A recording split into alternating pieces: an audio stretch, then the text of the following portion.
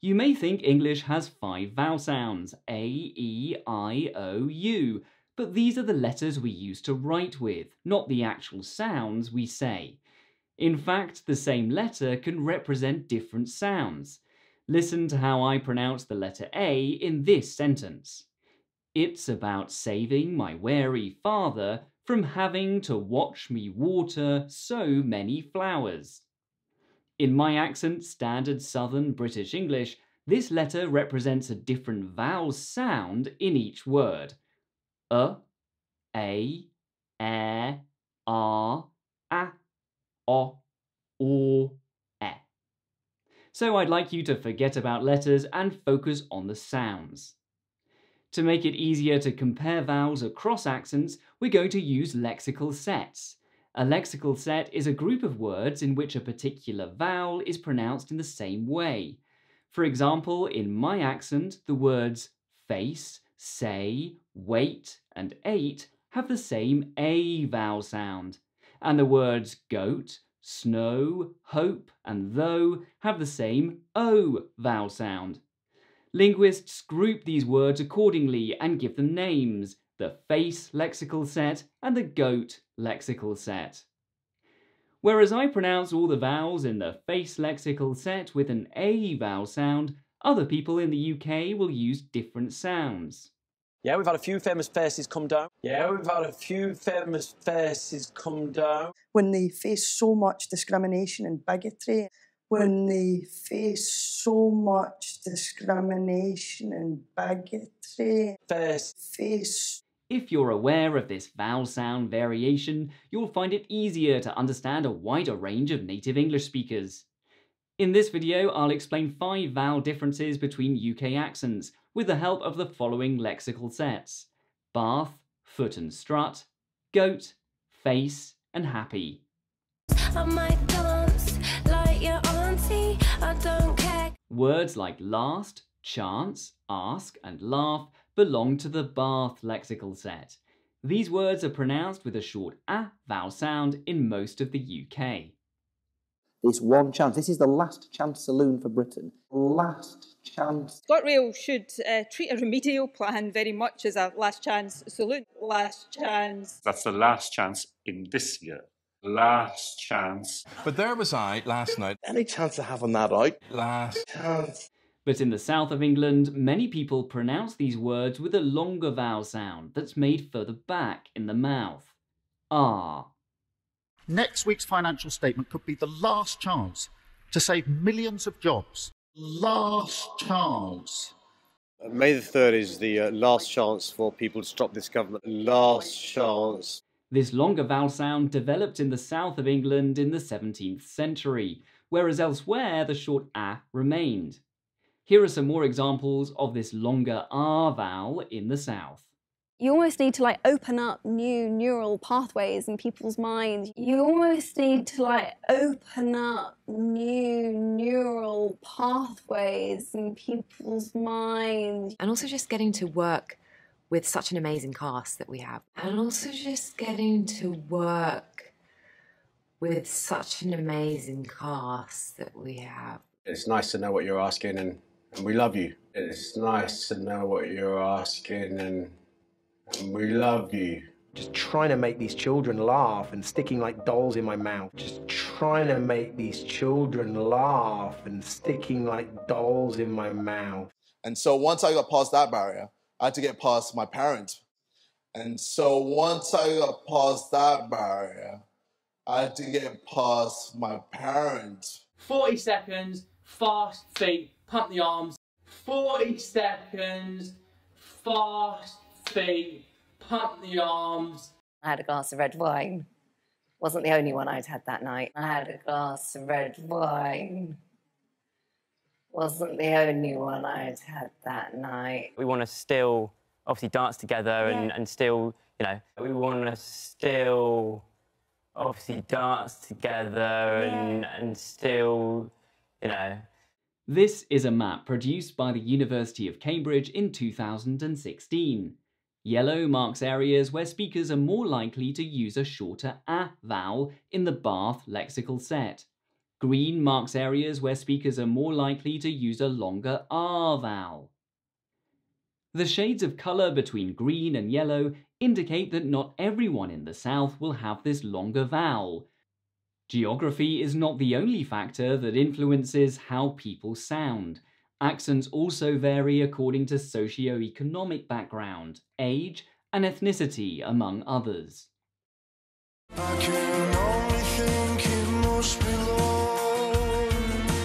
In my accent, the words look, stood, and put belong to the foot lexical set, and the words luck, stud, and put belong to the strut lexical set.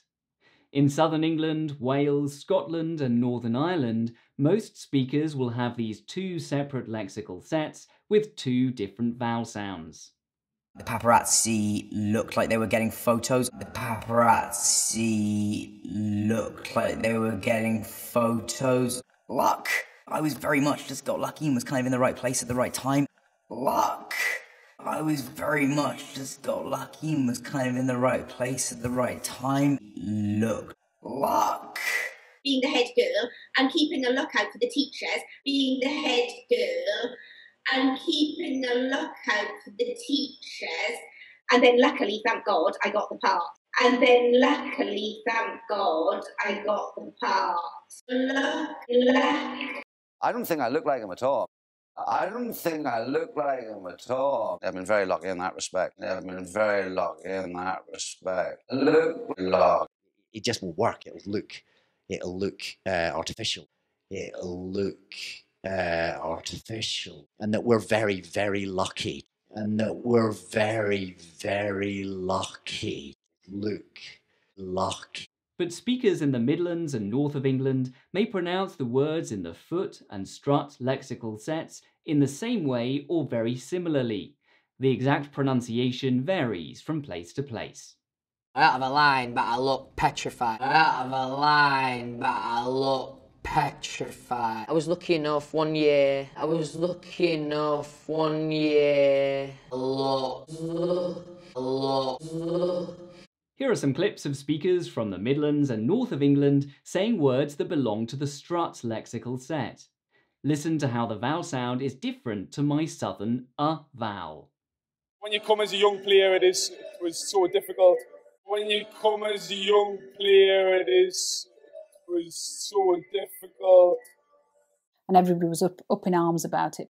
And everybody was up, up in arms about it. Well, you can, because I love a hug. I'm very tactile. Well, you can, because I love a hug. I'm very tactile. They phoned my wife up and said, I wonder if you can help. We know you've got a couple of hens at home. They phoned my wife up and said, I wonder if you can help. We know you've got a couple of hens at home.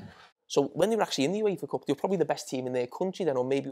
So when they were actually in the UEFA Cup, they were probably the best team in their country then, or maybe. And you'll find the difficulty of trying to tell players three and four different instructions for the same role. And you'll find the difficulty of trying to tell players three and four different instructions for the same role. It was like a cut the ribbon job, and I thought, oh, that'd be nice, never done that before. It was like a cut the ribbon job, and I thought, oh, that'd be nice, never done that before. It's all of the above. It's all of the above. Here's another map from the University of Cambridge in 2016. Blue marks areas where speakers pronounce the words put and put with a different vowel sound, like in my accent from the south of England. Orange marks areas where speakers pronounce them with the same vowel sound. When a survey was conducted in the 1950s, the number of people who rhymed put and put in England was much greater compared to 2016.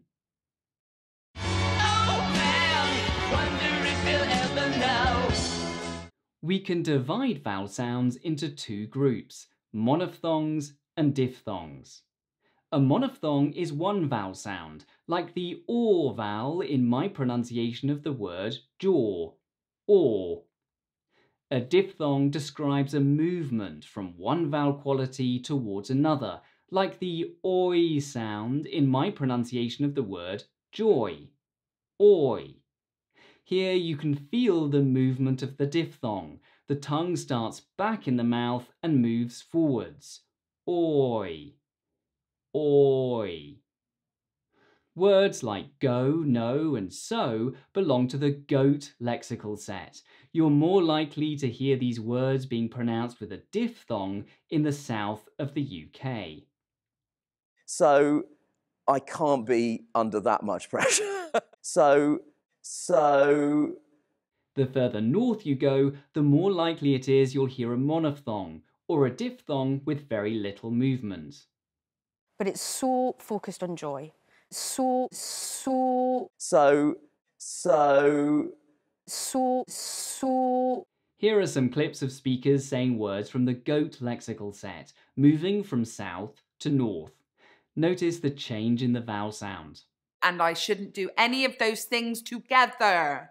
So one of them has to go. And I shouldn't do any of those things together.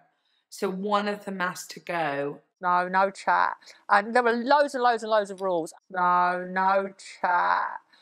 And there were loads and loads and loads of rules. There's a bit where she goes on a quiz show. There's a bit where she goes on a quiz show.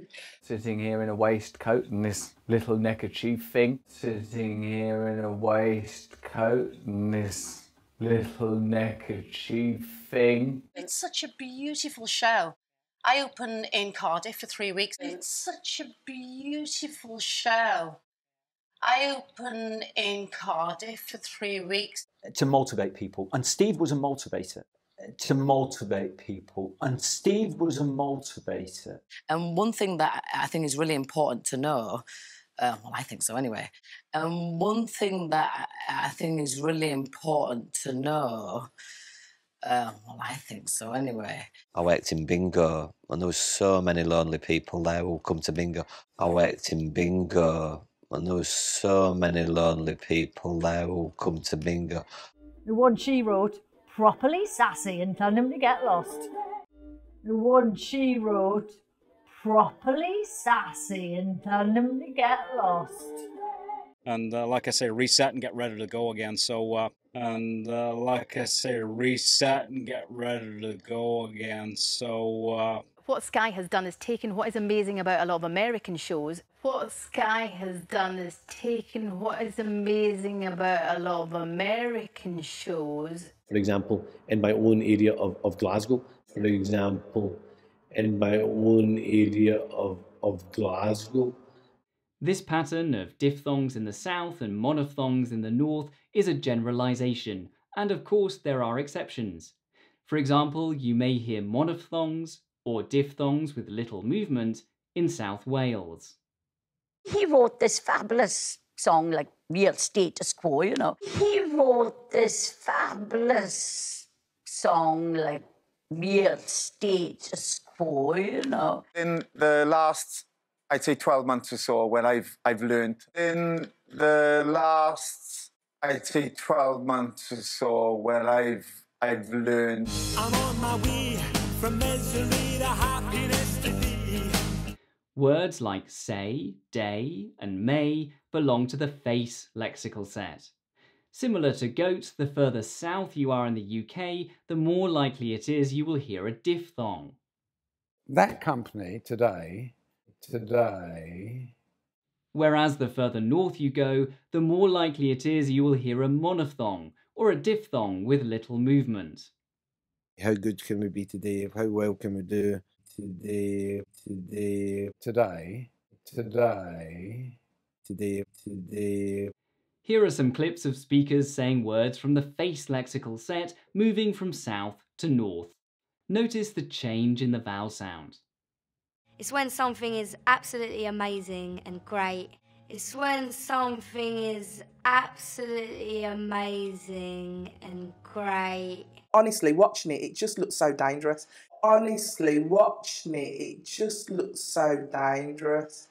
You don't feel like a patient's on the waiting list. You don't feel like a patient's on the waiting list. Maybe doing it in Vegas again, or maybe it's somewhere like LA, somewhere neutral. Maybe doing it in Vegas again, or maybe it's somewhere like LA, somewhere neutral. I'm doing things, you know, in my own space and place, and it's cool. I'm I'm doing things, you know, in my own space and place, and it's cool. And still to this day, it doesn't matter how many albums I sell. And still to this day, it doesn't matter how many albums I sell. It doesn't change things. It doesn't. It's you're still going to be the same person.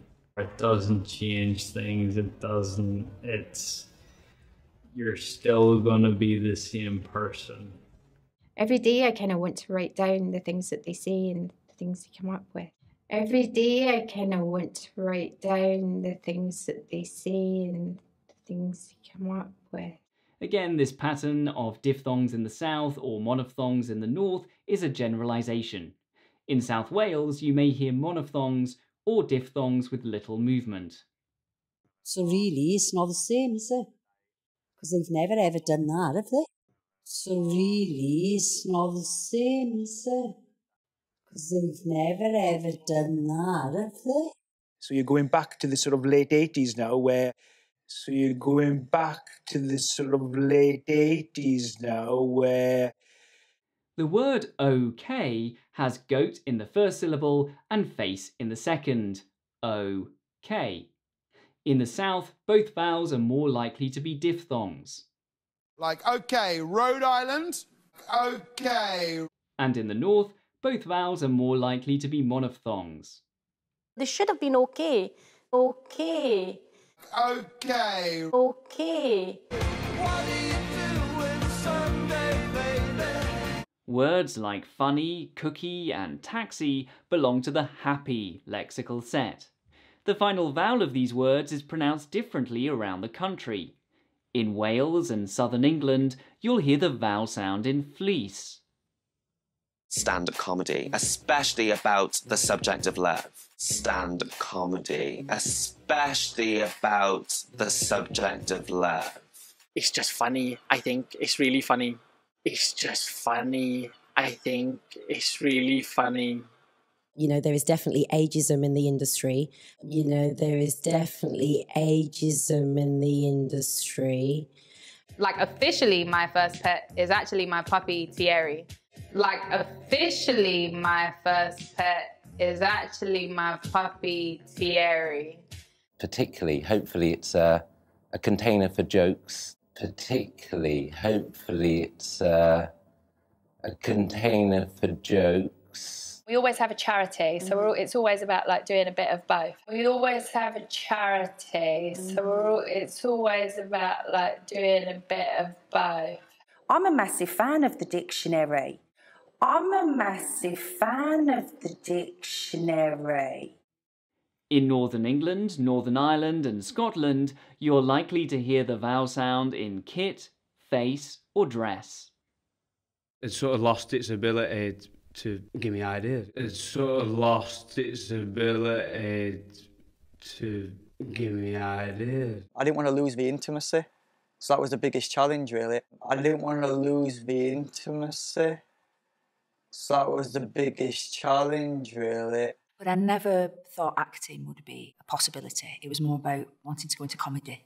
But I never thought acting would be a possibility. It was more about wanting to go into comedy. There's been some atrocity. There's been some atrocity. We're all ready. We've got music ready. We're all ready. We've got music ready. And just go somewhere where nobody knows you or whatever. And just go somewhere where nobody knows you or whatever. I'm very happy. I'm very happy. Two exceptions in northern England are Merseyside and the area around Newcastle, where you'll hear the vowel sound in fleece. People don't, don't think it happens in this country, but actually there's been a number of deaths in custody. People don't, don't think it happens in this country, but actually there's been a number of deaths in custody. And my husband said, You're really needy, we need a needy pet. And my husband said, You're really needy, we need a needy pet. The English language has evolved differently in different parts of the country. For this reason, we have variation in vowel sounds. There is nothing incorrect about saying face or face, they just belong to different varieties of English. If you're aware of this phonetic diversity, you'll find it easier to understand native speakers. Expect to hear bath and bath, strut and strut, goat and goat, face and face, happy and happy. The next time you listen to a native speaker from the UK, see if you can identify some of the features listed in this video. If you're a non-native English speaker and you want to improve your English pronunciation skills, then sign up for my online course. It's tailored to your native language, prioritizes sounds that improve your clarity, and uses SSBE as its model. Click the link to find out more. Make sure you subscribe and click the notification bell so you know when I release my next video.